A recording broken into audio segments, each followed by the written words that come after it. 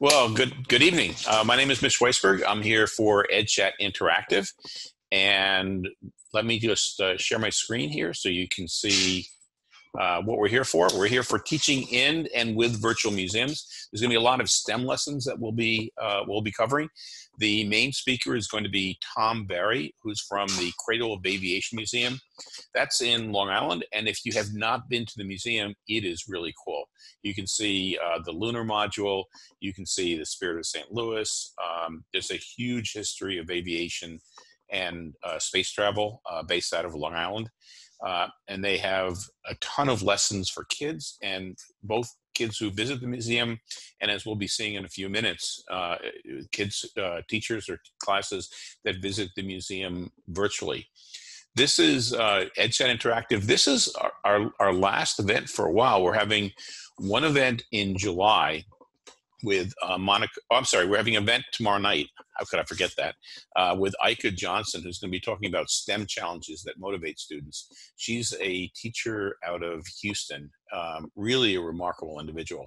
And then on July 14th, we're going to have Monica Joshi. Uh, Monica is actually from India, and uh, she's been teaching teachers in I think around a dozen schools in India um, how to use engaging content, a lot of it involving augmented reality.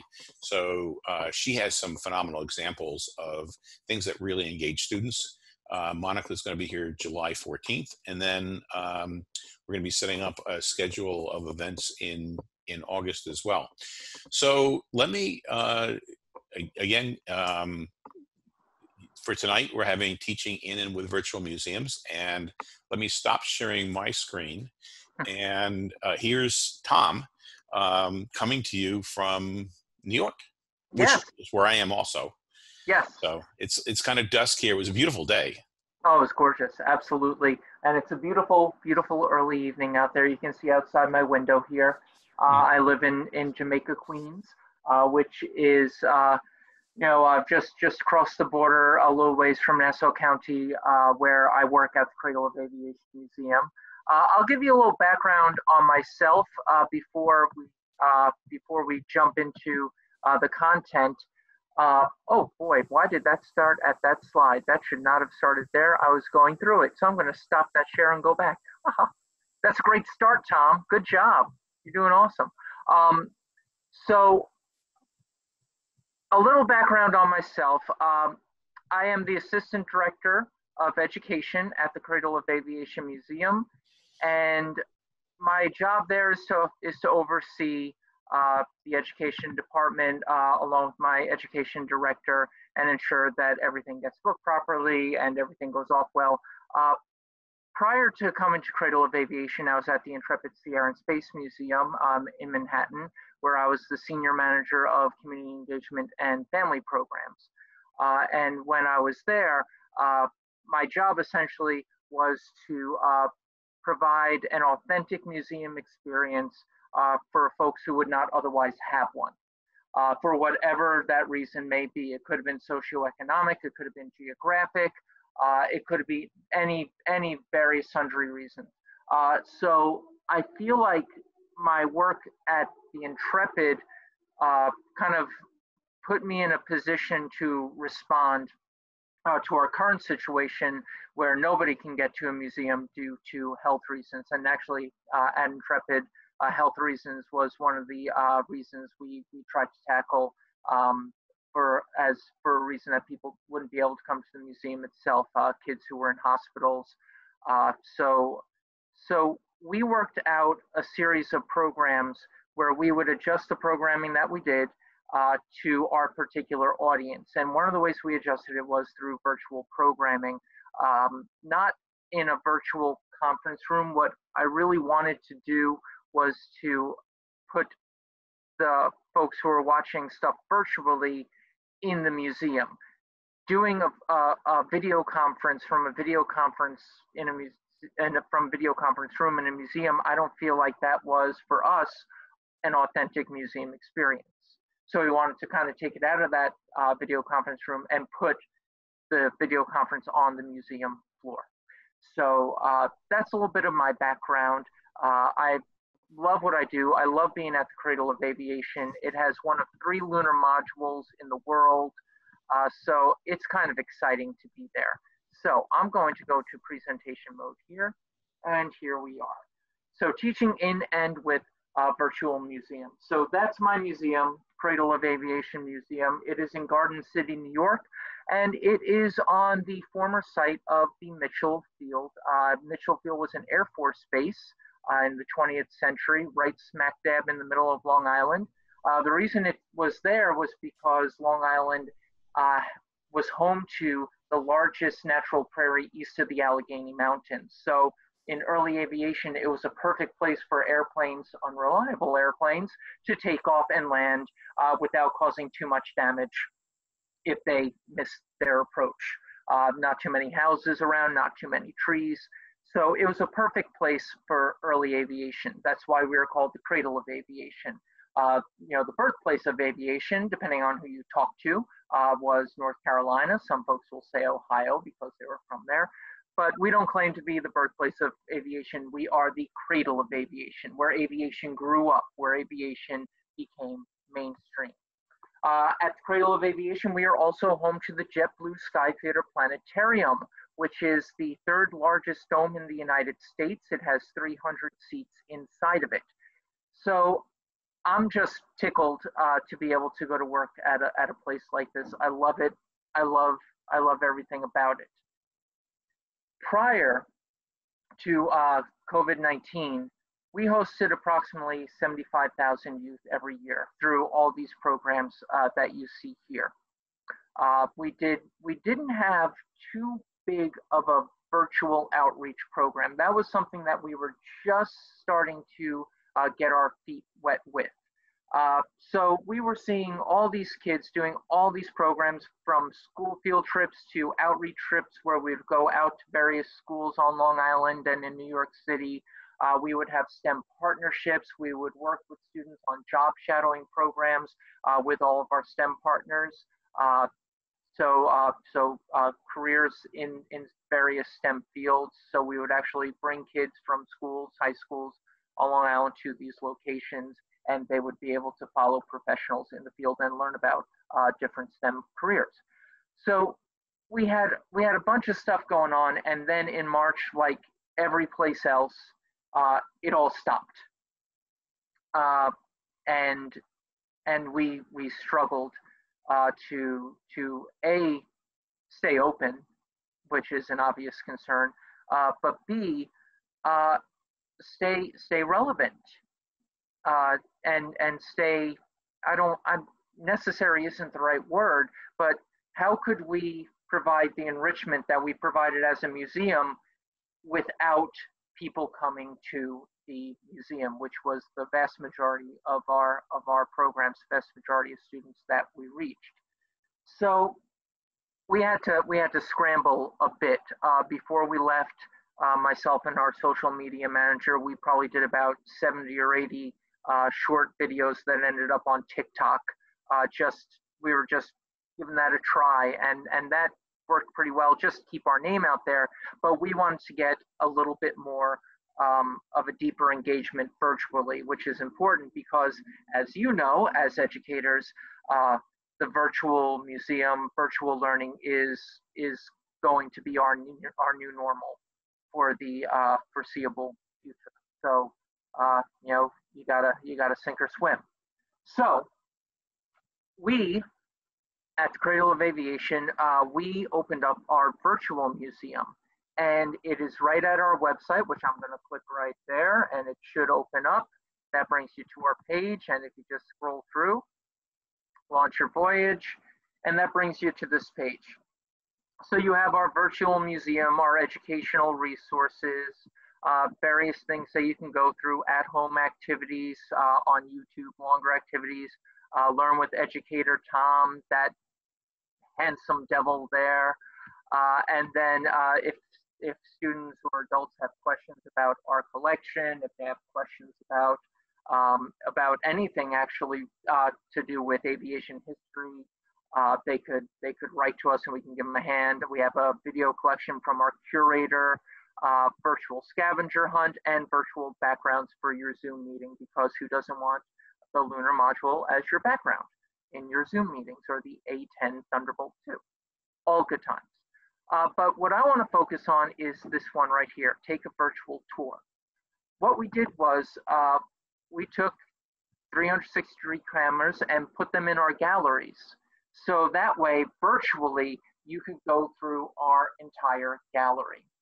Now, we had some programs set up with, uh, with uh, some high schools, uh, some local high schools in the area, uh, where we did virtual tours, guided virtual tours.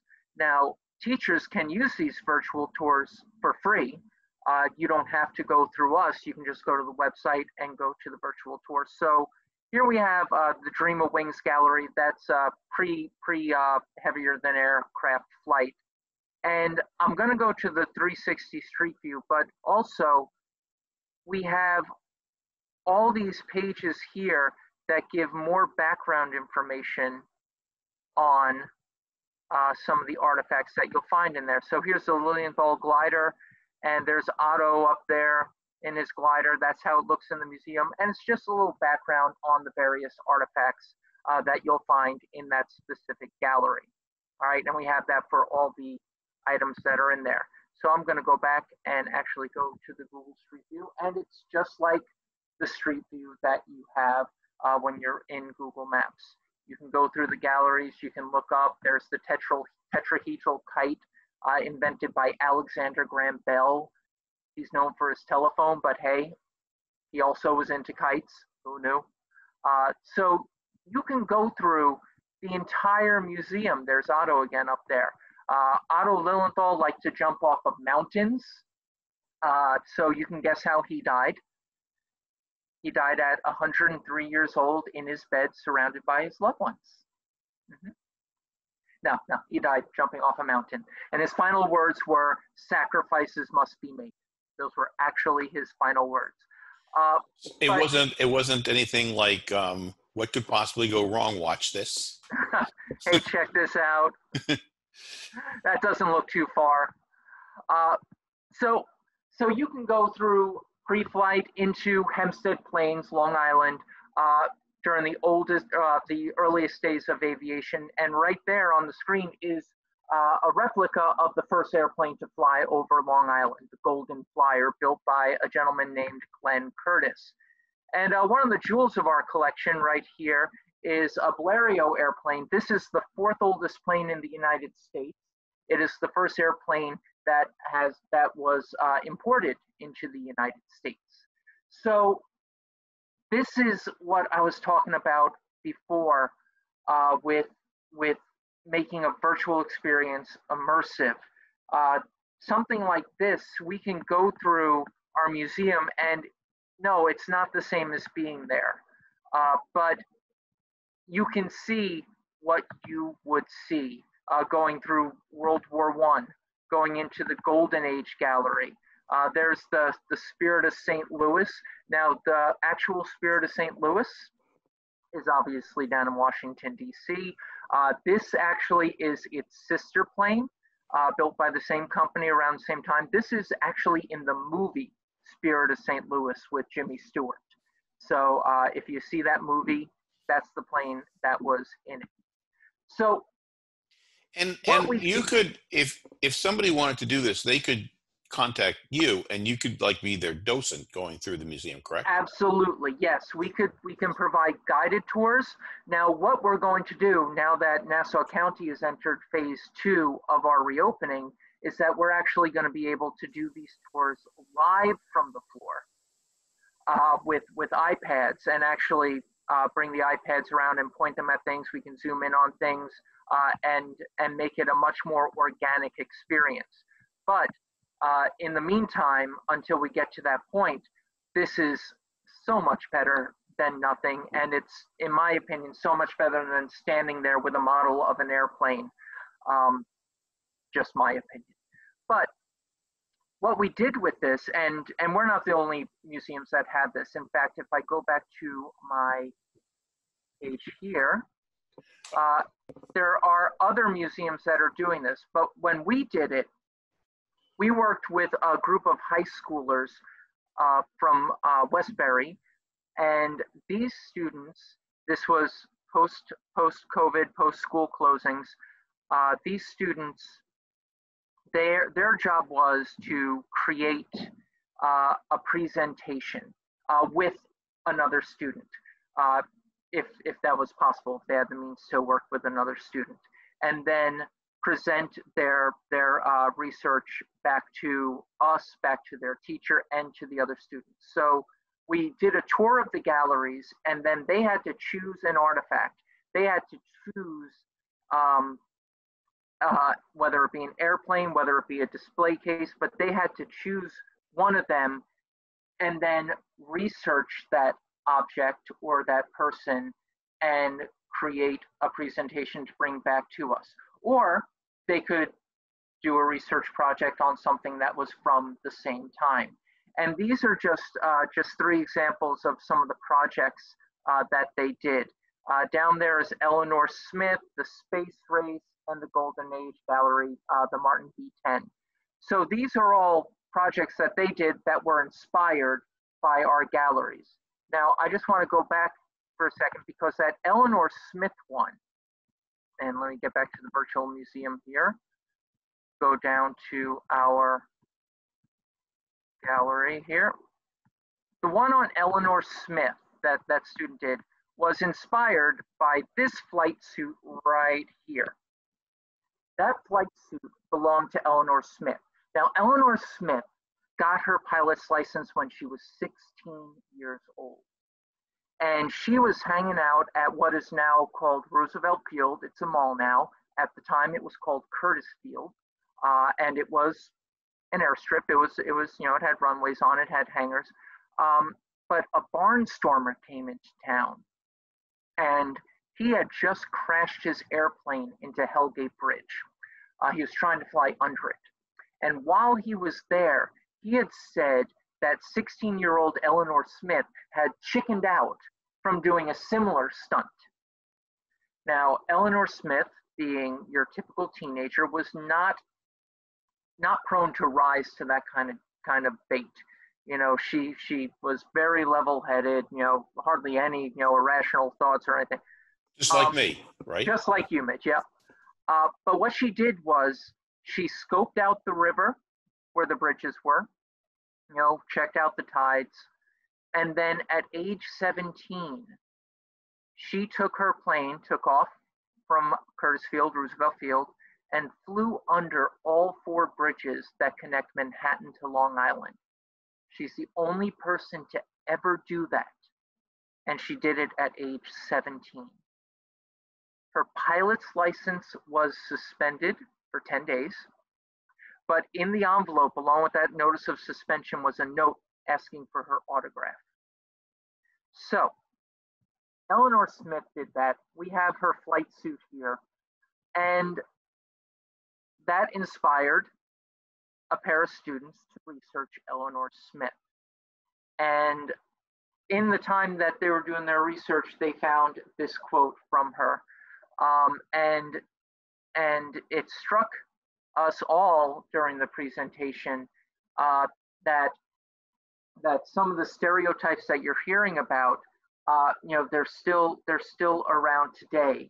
And women like Eleanor Smith, almost a hundred years ago, were out there uh, trying to uh, prove those stereotypes uh, were just that, were just stereotypes, that anybody could do anything if given the opportunity. So that's one way that we um, that we used our museum to to create uh, an immersive environment where students could then be inspired to do their own work. Uh, so in this case, it was a research project that they then had to present. Uh, so so that's that's what we did. I'm sure other people, I'm sure you could come up with other ideas uh, for, for that type of a, of a situation. Uh, we go all the way through uh, through space flight, through the lunar module, uh, through uh, space shuttles actually, and the International Space Station. So the whole history of aviation and space flight is in that museum and it's available uh, for you for free to use. And we're not the only ones that do that. Google Arts and Culture, uh, click on that, they have all these museums that are available. And I know you probably already know this stuff, but they have all these museums available that you can explore. And I'm going to go to, just because I know it so well, I'm going to go to the Intrepid Museum, my old stomping grounds. And I'm hoping to not pass it by. There it is. So I'm going to click on the Intrepid Museum. There it is. It's a World War II aircraft carrier. Uh, it served from 1943 to 1974. Uh, it served three tours in Vietnam. Uh, and it's just an incredible, incredible place. And you have all of these 360 views. So you can go to Pier 86. You can go right to the top of the aircraft carrier Intrepid. And not only can you see the planes, including there's the A-12, predecessor to the SR-71 Blackbird, you can also see the beautiful New York City skyline. Uh, there's an A6 Intruder, uh, F11 Tiger, uh, and in the back there is the Space Shuttle Pavilion home to Enterprise, uh, the prototype Space Shuttle Orbiter. So you can immerse yourself and your students in these spaces. Uh, it's, it's really a fantastic tool and one that can be used not only during this time, during COVID-19, but you can then use it uh, for other groups that can't come to the museum. Uh, we've used this for students, um, we've used this type of virtual learning for students in hospitals, uh, for students uh, who, are, who are serving uh, sentences, juvenile offenders. Um, we've used these, uh, these types of programs for students around the world who just can't get to the museum because they're in Saskatchewan. Um, virtual learning is very big in Saskatchewan, by the way. I'm not sure why, but I've had a lot of a lot of groups from Saskatchewan. So uh, it's just it's just a fantastic tool. Google Arts and Culture is uh, is a great resource to use. Uh, and you don't just have to do virtual tours. You can go to specific pieces of art in art museums, and you can analyze them uh, together. Uh, you can you can augment them. If only there was some sort of some sort of software, maybe an app that you could download onto onto a device and use it uh, to to create some sort of reality that maybe is augmented in some way, shape, or form. Uh, Mitch, I don't know if you if you could get on that or. or I no, I can't think of one. Can you? No, no, oh. not off the top of my head. There was an interesting question about when you set up the, the virtual tour tour and you took 360 photos. Yes. How did you then post those those 360 photos? How did you get them into Google Street View, and how did you get them as a web tour? That is an excellent question that I will send to uh, Rod, who actually actually did it. You do need a 360 camera, but you can upload it to uh, Google Street View on your own. Um, I can, if you, I have my email at the end. I can connect you to Rod, who is our technical guy, who can absolutely tell you the process for getting that up there. I thought um, that I thought that was a great question too. Yeah, I actually have done it using 360 photos, and I use the Instructure, which attaches to an iPad, mm-hmm. and then um, and then I string those photos together using a package called Wonda VR. You know, I put the uh, name of it in the in the chat. Mm-hmm. So that's that that also is another way of doing it. But I love the Street View way that you guys have done it. Yeah, it's it's a real the, the one thing that's a little tricky with it is sometimes if you hit the arrow in the wrong spot, it brings you through a wall and you're in a completely different gallery. Uh, it doesn't respect walls, essentially, is, is what I'm saying. Uh, but it it is it, it was truly a game changer because we were able to honor commitments uh, for grants because of it. Uh, we were able we were able to work with students um, that we would not have otherwise been able to work with. Uh, and actually, that brings up a point uh, that is is still an issue uh, with all of this because we can create all this wonderful stuff, but uh, attendance is an issue. Uh, students uh, who maybe are are income generators right now. That, that's something that might keep people out of the virtual classrooms. I know that in New York City, they had less than a third of students log in uh, for, for classes at a time uh, in many cases. So New York City, to, to counter some of that, uh, they had a program where you could request uh, a device and, and, uh, and different carriers had free hotspots around the city. So that's that's one way one way to uh, to overcome that. But it is it is an issue that that we face. But I really do think that as virtual learning becomes more and more the norm, and as as this becomes our everyday for the for at least for the near future, um, that those attendance numbers will will hopefully go up. Uh, on the plus side, though, I think that out of necessity, a lot of a lot of fear and a lot of trepidation uh, to virtual learning has been removed uh, due to necessity.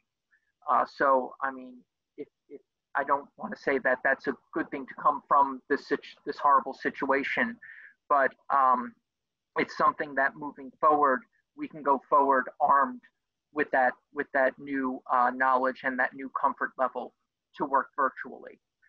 Um, does anybody have any other questions so far or any comments, concerns, witticisms, anecdotes? Sorry, I was muted. I will say people have been saying that it's it's pretty incredible what you've done. Oh, that's good to hear. I'm glad. I, on the other hand, am not impressed at all. I know. Actually, right. I, I'm with you, Mitch. Uh, I'm just, you know, it's whatever. You, you guys, you guys have done a great job. Oh, thank you, thank you. Um, I mean, it's it's it's so it's so incredible to be in front of these machines. So the hope is, uh, at least at least on my end, the hope is that we spark an interest, just like we were doing with that program. We sparked the interest, and then they went off and and did their teacher guided uh, research to do their presentations. Uh, it's my hope that now those kids that did that program about Eleanor Smith now they want to come back and see her flight suit in person. You know, uh, that they, they want to uh, see everything up close. Uh, I was, was also, hoping that, that a couple of them would just rent planes and fly under the bridges. Oh yeah, well, right. Uh, that the, they have a few more probably uh, you know restrictions in place since since 1928, I would imagine. Uh, it's funny because just before she took off, Charles Lindbergh tapped her on her shoulder in plane and said, "Good luck. Keep your nose down in the turns." So that that'd be a good confidence boost for her. uh, so, so that's virtual learning from the museum floor. The planetarium is a whole other thing. Uh, the virtual planetarium is is what we've been doing, and it's really been uh, it's been probably our most our most successful uh, program that we've done virtually, at least the one we've done most consistently uh, virtually. And the reason why is because, uh, at least one reason I think, uh, is because when you go to the museum, you see the planetarium show, it's something that that is otherworldly, if you'll pardon the pun, but it's also something that is not accessible to you at home you come to the planetarium to experience something that you can't experience in your house. Doing the planetarium virtually, the best responses that I've had was, wow, this is something that I can take now and use on my own. Because the software that we use to do the virtual planetarium is open source freeware. So when we do a program, really what people are are coming for is is our knowledge about the night sky, about about the universe, um, and and our our alacrity with the program itself, but also maybe to learn how to get that program so that they can, you know, uh, start on their own path to understanding uh, how how to use it in their own lives without us. So it's that you know it's kind of thing like yeah we're we're given fish, but we're also teaching the fish as well uh, with this. And the program that we use is called Stellarium. And Stellarium is available at stellarium.org, stellarium.org.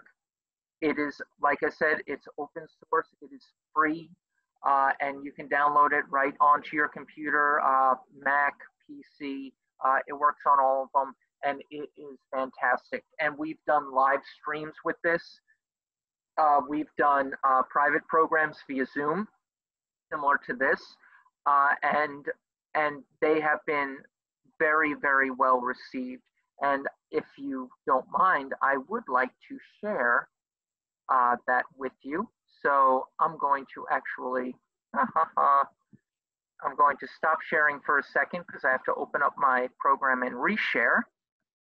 Share screen. And while you're doing that, it looks like David Lockett has also used Stellarium. Oh, really? Uh, David, have you used it uh, in uh, programming or have you used it uh, personally? And I'm looking for my chat here. There it is. Oh, thank you for putting that there. Oh, good. Yes. So yeah, you know, you know about the features. Then uh, it is a surprisingly. Oh, great, excellent. So you have used it um, with the, with the public. Um, it is a surprisingly powerful and easy to use program. Uh, the balance that it strikes is is pretty fantastic. Uh, so along the bottom here, you have uh, what we'll say is is the the basic stuff, the stuff that you use uh, to just basically do sky viewing. And then if you want to get deeper, you can go into this side menu here. Uh, you can go to any location uh, on the planet. You can go to any location on another planet in the solar system or a moon in the solar system. Uh, it's really a, a fantastic feature. So I'm in New York City, so obviously that's where I'm going to be. But it's so easy to change your locations that you can, in a program, a virtual planetarium program, you can show people the difference between this, this night sky at 40 degrees north latitude versus 20 degrees north latitude. You can see the constellation shift and, and you are immersed in that and, and you get it. That's, that's probably the best, best way I can, I can put in, probably the best compliment I can give Stellarium uh, is that it helps folks get it. Um, but you can change your date, your time, any date, past, present, future. Uh, you can uh, change your star lore. Uh, for example, uh, we are using the Western constellations. So up here in the north, a lot of them come from the Greek tradition, but you can go into all different uh, cultures and all different night skies. So there's so much that you can do uh, with this. And I love when you were showing it to me, you kind of blocked out the sun. Oh yeah, oh yeah. We're going to do that actually next uh, because I believe it's uh, fifth grade, uh, next generation science standards. Um, it talks about brightness of a star compared to the sun. The sun is so much brighter than the other stars because it is so much closer. So we talk about the distance uh, to the sun versus other stars. So I'm going to take out the atmosphere and it brings up the night sky. Now you can bring up constellation lines, constellation names, constellation artwork.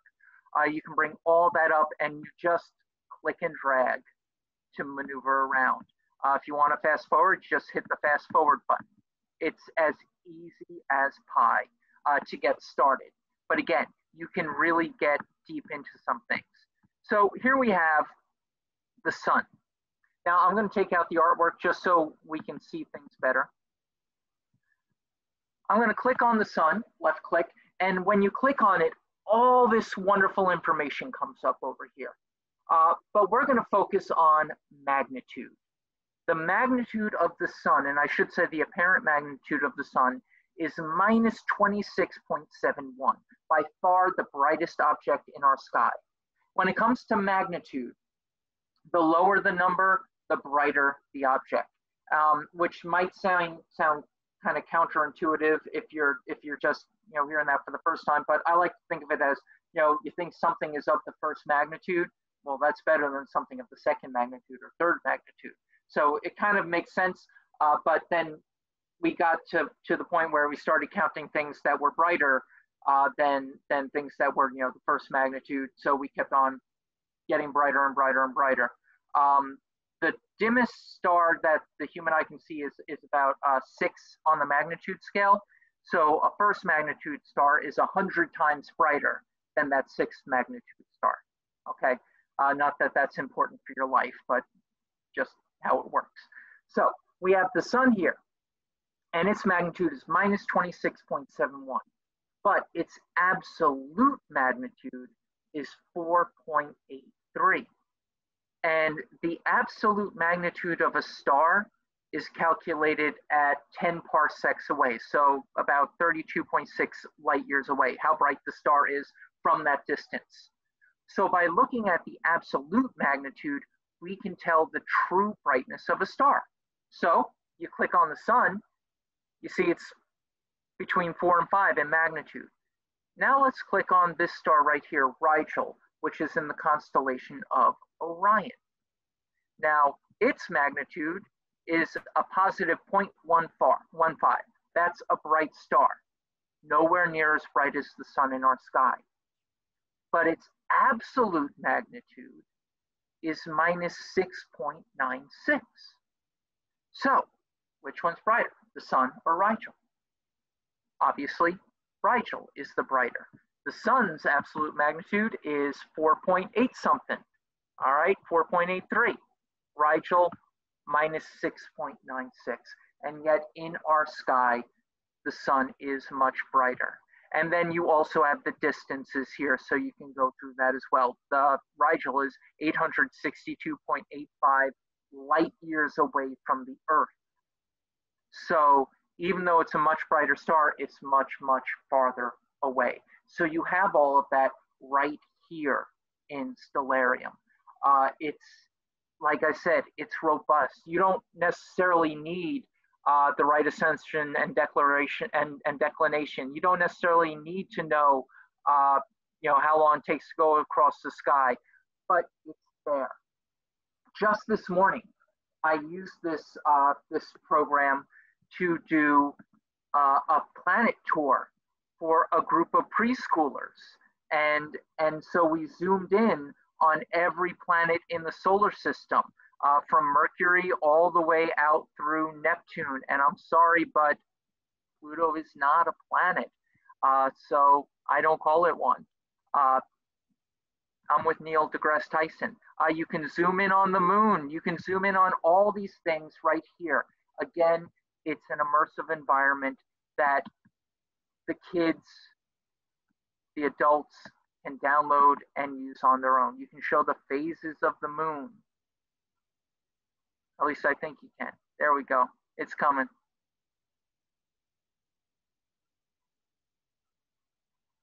Now, on the dome version of this, you don't get that, that big wobble, but you get it on the desktop version. I'm still working on trying to smooth that out.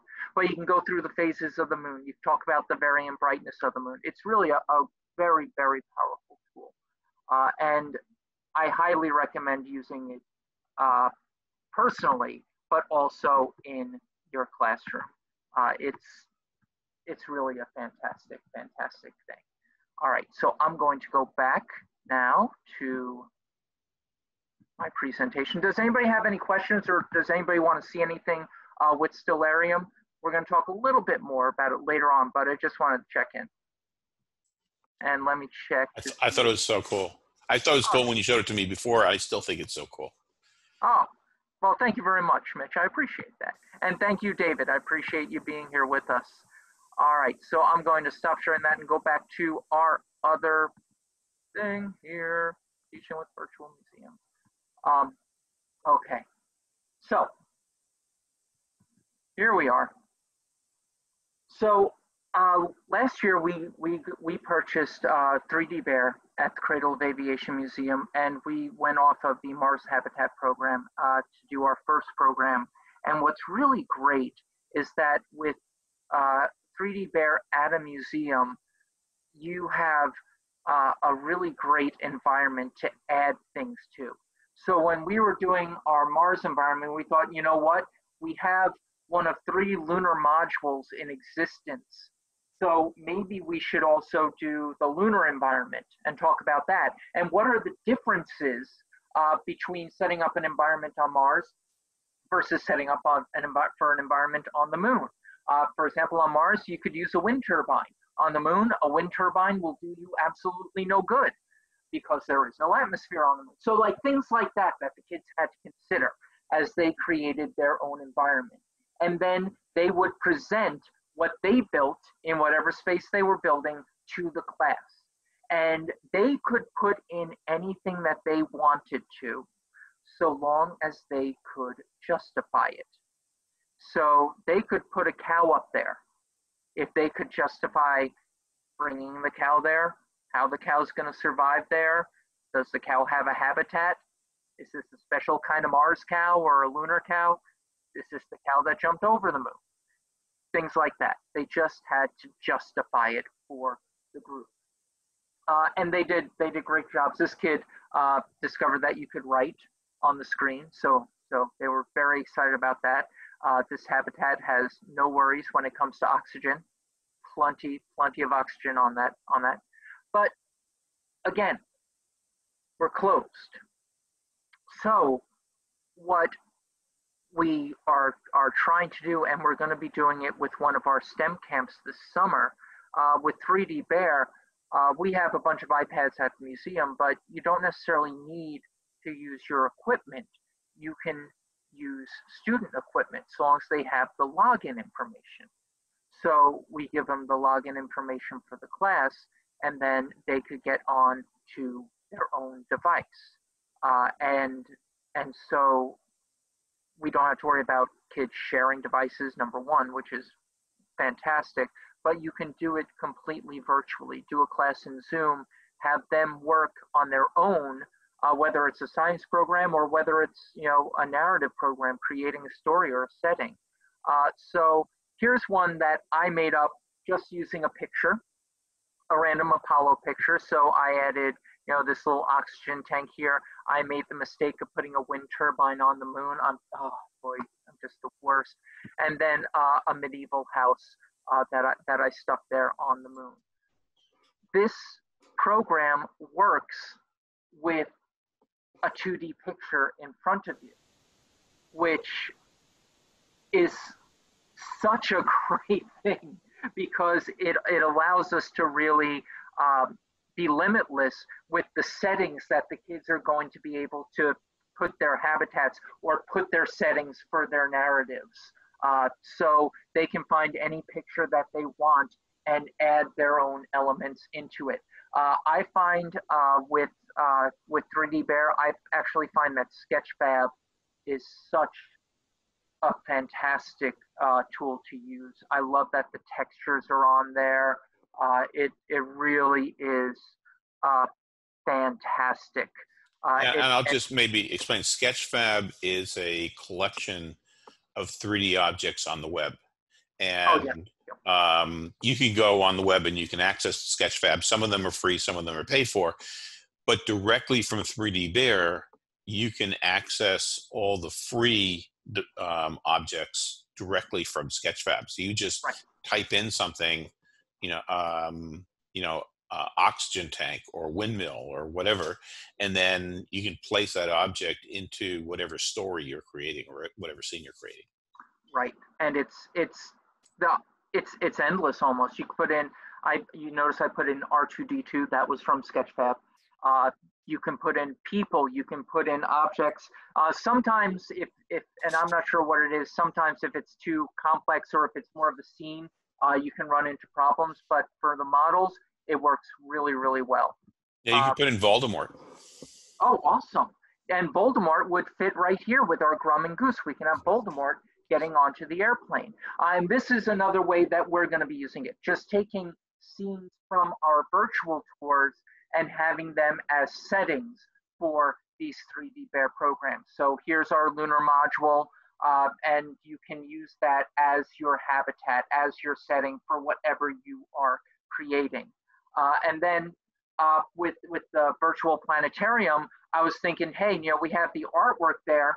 You know, there are tons of animals, so the kids can build their own sky their own 3D sky using some of these models. So there's the Great Bear and Leo the Lion using 3D models that we imported, put onto a 2D screen, put onto the computer screen.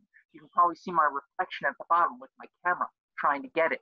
Uh, you know, they can make up their own constellations and manipulate the models to fit in them. So they can they can create their own sky culture and create their own stories, their own mythologies to go along with it.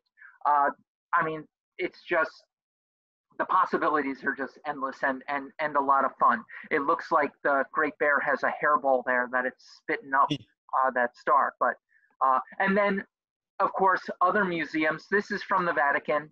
Uh, this is one of Raphael's masterpieces, the School of Athens, and and just me personally, I felt like it was missing something in the middle, so I stuck R2D2 in there. So, but you can you can annotate, you can you can call out certain things, you can add things that you it's and the resources to do these types of things are are huge because there are so many min, so many museums on that Google Arts and Culture uh, platform, and there are so many museums that offer these virtual tours that provide endless canvases for you to use. Uh, what's amazing about a program like 3D Bear with the augmented reality is that you can put it into into that 3D space, and kids can do that at their home. But it's kind of nice to know that it works with the 2D space as well. Um, so that's what we're doing, uh, and I sincerely, I sincerely hope that that you got some ideas. I sincerely hope that you um, that you um, are interested in, in, in checking us out. But if you have any questions, uh, that's my contact information right there.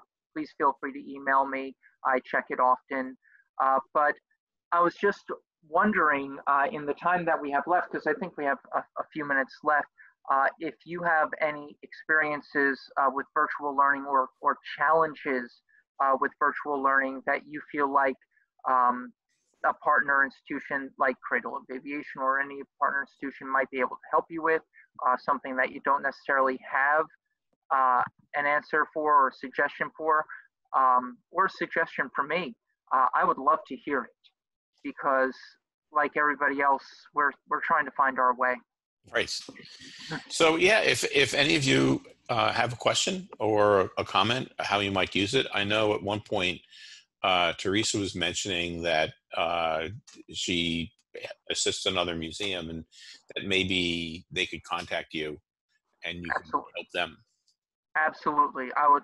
Nothing would give me more pleasure. Uh, this is this is one of those situations where I mean we are all truly in the same boat. Um, and so uh, anything that I can do uh, to help people not make the same mistakes I made, uh, same mistakes that our museums have made, uh, you know, I am happy to share. You're very and, welcome. And do you have, if you do a tour, can you? Well, I, I know that you have uh, some of the instructors are Spanish speaking, so you could yeah. probably do the tour in Spanish. Are yep. there other languages that you can do a tour in? Right now, just Spanish.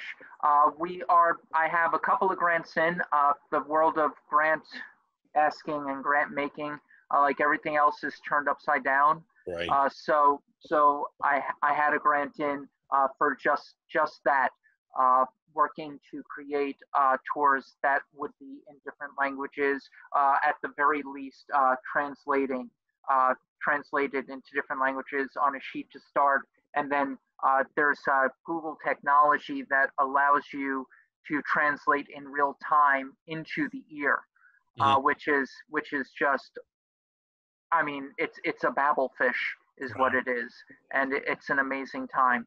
Uh, so, but right now we we do offer tours in English and Spanish uh, virtually. Yeah. That's that's pretty amazing. Um, I don't know, maybe just show a couple of the other gal, you know, uh, you know. Oh, sure, absolutely. Uh, so I'm going to. Because those are so cool. Thanks. Uh, let's see here. So I can bring you right through actually to up, oh, and my chat's coming down there. There we go. So here we are with Elinor Smith. So truly, we're, we're a regional museum, the Cradle of Aviation. We document the history of aviation on Long Island.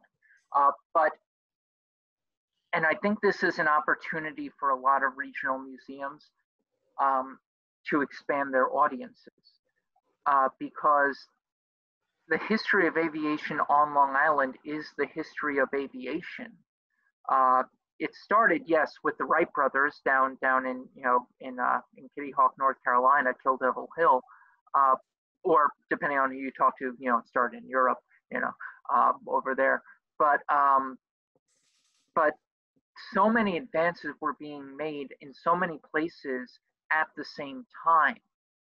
So the advances that were being made here were being made in other places. So we have we have you know one of the 10 oldest airplanes in the world. So that's that's that goes beyond Long Island. Uh, here in our World War II gallery, uh, we have the Grumman uh, F6F Hellcat right there. Uh, we have the Grumman Wildcat right there, the TBM Avenger. These are airplanes that turned the tide of the war in the Pacific. Uh, the Wildcat uh, was underpowered when you compared it to the Japanese Zero airplanes, but the pilots were so well trained that they still held their own. And then uh, the Grumman Hellcat came along and it completely took the Japanese pilots by surprise because it kind of looks like the Wildcat, but it's able to do things that the Wildcat couldn't dream. Uh, going over here, we have the Republic P-47 Thunderbolt, uh, the Tuskegee Airmen. Uh, they're famous for flying the P-51 Mustangs, uh, but the plane that they painted the tails red on first was the P-47 uh, built by Republic. Uh, that's the Thunderbolt right there. Up there is a Waco glider. So the Waco gliders, they were towed behind uh, huge transport aircraft and then dropped behind the German lines in France during D-Day. So we have that sitting up there. Uh, you could put a Jeep inside of there and it could roll out the front. Uh, I mean, it's just incredible the reach of, of these of these airplanes. Uh, so going through, we have World War II on the home front. Uh, we can go through uh, the jet age over here. At least I think we can. There we go. So we have the, the Cougar right there. That's a Grumman airplane. Uh, Leroy Grumman really liked cats, I guess, because Grumman airplanes, they were named uh, the Hellcat, the Wildcat, the Tomcat, the Cougar, the Bearcat. Uh, Grumman built one uh, aircraft uh, that was meant for the civilian market. That's it right there. They thought people coming home from World War II would want to fly planes. Uh, that market never materialized. But this plane here is called the Kitten, and it's a Grumman airplane. So never materialized though that market. This is my dream retirement job right here to fly this airplane. It is a Republic Seabee. It is an amphibious airplane. It's a push plane, and inside it's like a big car interior. I would love to make my living in my in my golden years just flying that back and forth from New York out to the east end of Long Island. Just got to get enough money to do that. Uh, but and then uh, Republic, that other aircraft company I was telling you about, they like Thunder. So we have the Thunderbolt over there. This is the Thunder Jet. This is the Thunderbolt 2. They have the Thunder Chief. Republic like Thunder for some reason. So you can go through these galleries uh, either by clicking those arrows over and over and over again, go through commercial aviation, uh, or you can go back to that main page and you can uh, select your gallery. But if we come into uh, the space age here, uh, if you look up over here, let me see if I can get to that spot. There it is. Recognize that? Oh, that's the first. Uh, that's the first uh, Telstar, right? Uh, close. It's the first satellite. Satellite. Sputnik. And yeah, now obviously it's not the real Sputnik one that burned up in the atmosphere, but this was actually a gift from the Soviet Union to Nassau County. So that is as close as anyone in the United States has to the real thing. Uh, and it was actually a gift from the Soviet Union because they had some sort of a state in Nassau County. It's kind of actually a, a bit of a strange story. There's a little little weirdness going on with that estate. But hey, back in the 1980s, they said here, have Sputnik's sister, and so we do right there. Uh, at the Cradle of Aviation, we have, uh, I like to say, not one, but actually two lunar modules, because we also have this one right here, which is the prototype lunar module. So when they would test anything out, when they would try to see if something would fit, this is where they did it. So this was actually at the Grumman Corporation uh, in a clean room, and it is a prototype lunar module. And then around the corner, we have the real thing, one of three in the world. And then if you go out, back out to the galleries, this is actually my favorite. So every astronaut that went to the moon, oops, wrong way, sorry about that. Every astronaut that went to the moon, they had to train. And if I could get there, that would be fantastic. Where are you? I can't get there. Goddard rocket. Anyway, I don't want I don't want to waste too much time with this, but uh, we have the actual trainer, uh, lunar module trainer that Neil Armstrong, uh, Buzz Aldrin, Michael, uh, not Michael Collins, he was command module pilot. Uh, every Apollo astronaut that went to the moon trained in this trainer that we have at the museum. So, I mean, yeah, we're, we're a regional museum, but but our, our reach is, is all the way to the moon. And as as as and Mars and Mars and Mars, too. And Mars, exactly. So we're trying to really virtually uh, expand our reach. So take these techniques that we're doing uh, in an effort to uh, widen widen our audience and, and bring more attention to this to this amazing stuff. Um, this is, has to be inspiring for kids and get a lot of kids going through the museum or um, or doing the projects that you have them do mm-hmm. uh, have to be attracted to STEM careers after after doing this, right? Oh, absolutely. And what's what's fantastic is is we have partnerships uh, with different high schools and different districts throughout the island, and we we have partnerships with various uh, companies, STEM related companies throughout Long Island. Uh, a lot of aerospace, a lot of cybersecurity, um, and we we match up groups with companies and and kids can do job shadowing. Uh, so what's what's nice is is that you know they find about out about different careers, uh, and then they also have their connections. So when the time comes for an internship, it's not a cold call, it's not a cold email. They have that connection where they say, "Hello, I was job shadowing, uh, you know, last semester. Uh, I'm very interested in this field, and I was wondering if I could come in to interview for an internship at your company. So it, it does open the door uh, for students to find out about the STEM careers that are in their own backyard, and there there are plenty of them. That's great. So, do you have any like closing thoughts that you want to give to people? Um, my closing thought is when I was at Intrepid and I was managing community engagement, uh, we had two objectives before anything else, uh, before any uh, academic objective. Our two objectives were a positive social experience, that was one, followed by a positive educational experience. And those were our first two objectives. And we would follow up with teachers uh, to, to make sure that that we were meeting uh, those objectives. So we asked the teachers, you know, um, what what behaviors did you see that showed that the students were enjoying yourself?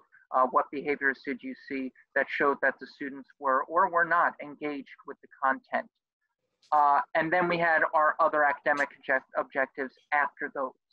Hmm. And I think in this time, kids, teachers, guardians are all under so much stress that those two objectives are now even more important uh, than, than they were pre COVID 19. Uh, if you have a program, or if I have a program, I don't want to speak for you, uh, where we didn't get through a third of what I wanted to get through academically, but the kids were engaged the whole time, uh, and the kids were enjoying it and had a positive experience. I call that a successful program. And I wrote that into our guidelines as community engagement. I mean, there, there are school and teacher programs. Uh, there, there are other programs that are more tied to, to, uh, to standards. But when, when we're working with students who may not have had a positive educational experience, uh, working with adults who may not have had a positive educational experience and for whom positive social experiences uh, are, are uh, maybe, maybe uh, you know, rare commodities. Uh, providing that first, I think, is is uh, is a good is a good way to approach it. Yeah, and it's the only thing that's that basically is working when Yeah. kids are, are remote. So Mhm. yeah, I can see kids getting really excited, you know, with these virtual tour, tours, with the with the guided tours, with the activities that you have for them. It's I, it's, it, it's amazing. Well, thank you. Thank you very much. And again, if you have any questions, comments, concerns, witticisms, or anecdotes, uh, please feel free to send me an email. Uh, if you uh, have any suggestions, please also feel free to send me an email. Uh, I, I am I am so willing to learn more. Uh, so please, if you have anything that you'd like to share with me, please do. Well, stay safe. Thank you. You do And- the same. And Tom, thank you so much. This was uh, it, this was phenomenal. Uh, you've done a great job. Thank you, and thank you all for being here tonight. I know that we're we're coming up on nine o'clock, Right. so that's that's like bedtime. Yeah. You know? Okay. Well, Tom, I'll, I'll, I'm, I'm sure we'll, we'll talk in the next few weeks. Um, thank, thank you again for everybody. Uh, this is Mitch Weisburgh for EdChat Interactive and good night. Hope to see some of you tomorrow night.